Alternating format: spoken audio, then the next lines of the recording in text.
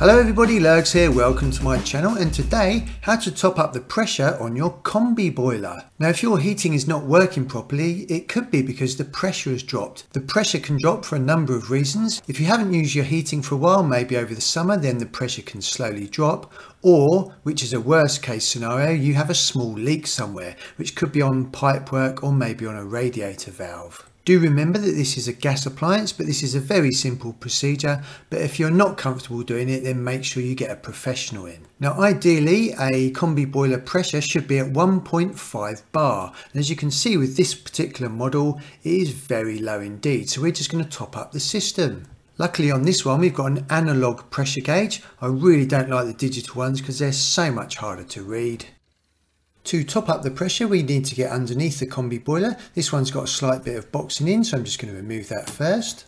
And what you should have underneath your combi boiler is you've got this filling loop. This is where you top up more water into the system to increase the pressure. And on each side of this filling loop you should have two taps and we'll be using these taps to top up the water pressure. These plastic lever taps do get brittle over time and you may find that they actually snap off. Now what you can do is you can remove these taps and replace them just by undoing this screw here but in the meantime if you just take off the plastic lever you should be able to get a pair of pliers on the nut underneath and just turn it like that. But these taps are in good condition so let's go ahead. The first thing I'll do is open the tap on the left hand side. I'm opening this fully by turning it 90 degrees. This allows allows mains cold water into this filling loop, but this isn't going into the combi boiler just yet because then we need to open the one on the right hand side. Now, if you gently turn the tap on the right hand side, but don't open it up fully, just open it up very gently. And if you're really quiet, you should be able to hear the water start to fill up into the system. As you're doing that and you can hear the water topping up the system, the pressure gauge should start moving upwards. If your pressure gauge is working correctly, it should start moving up.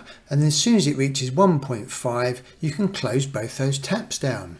The pressure gauge on this particular combi boiler is not very accurate and it takes a while to actually move. So I'm just going to shut this right hand tap down now and then I'm going to let any excess air out of the system and we do this by finding the radiator at the highest point in the house.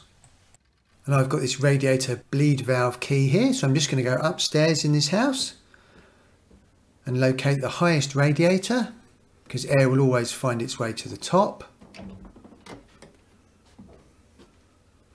Make sure you've got a tissue ready or a rag.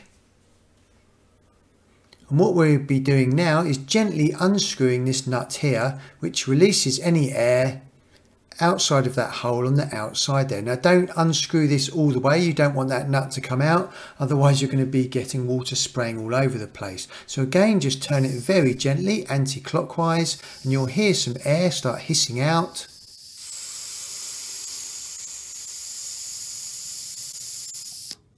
There we go. As soon as the water starts spurting out, you can close it down.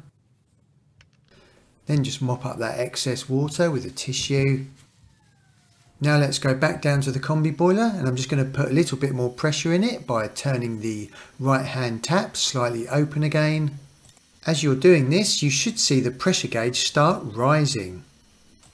And you want to get it to 1.5 bar.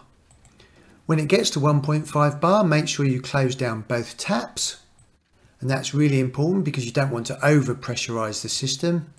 As I mentioned earlier, this pressure gauge is slightly temperamental. I'm just going to give it a tap here and I'm just going to do a bit of a time lapse because this one is taking quite a while to top up the pressure and that is why you don't go mad when you're filling it up with water. And this is slowly repressurizing until we get to 1.5 bar which is absolutely perfect and then your heating system should all be working properly. If you do accidentally over pressurize the system over 3 bar there should be a safety release valve built into the combi boiler.